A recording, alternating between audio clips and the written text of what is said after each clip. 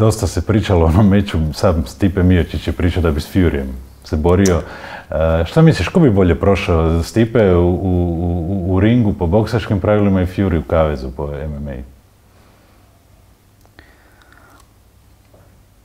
E, jeste gledali ovaj McGregor i Mayweather? Yes.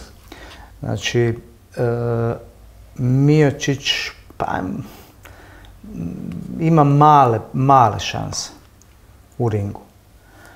Ali Fury nema nikakve šanse u kavezu. To su, znači to, lajcima su to slični sportovi. To nema veze s vezom. Ne? To je ko nogomet i košarka. Ne?